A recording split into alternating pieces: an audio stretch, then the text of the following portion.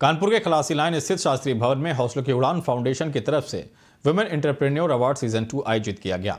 Award समारोह का शुभारंभ मुख्य अतिथि जिला पंचायत सदस्य स्वप्निल वरुण ने किया। यहाँ पर उन्होंने महिलाओं को सम्मानित भी किया।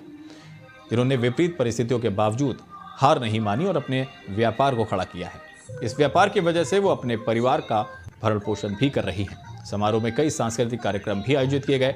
वहीं हौसलों की उड़ान फाउंडेशन के अध्यक्ष राखी गुप्ता ने बताया कि वुमेन एंटरप्रेन्योर के लिए ये कानपुर में सबसे बड़ा अवार्ड है।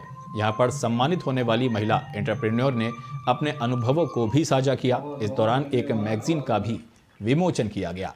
हर्षा वनेजा जी सरस्वती वंदना में। मेरा नाम राखी गुप्ता है। मैं हौसलों की उड़ान फाउंडेशन मेरी संस्था है, जिसकी मैं अध्यक्ष हूँ और फाउंडर हूँ।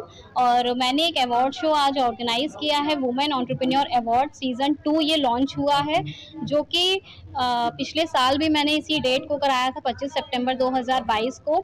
इसमें मैं ऐसी महिलाओं को सम्मानित करती हूँ, जो महिलाएँ बहुत ही संघर्ष कर रही हैं और अपना खुद का व्यापार कर रही हैं या अपने परिवार का भरण पोषण कर रही हैं। तो ऐसी महिलाओं को हम सम्मानित करते हैं, उनको एक मंच और पहचान देते हैं।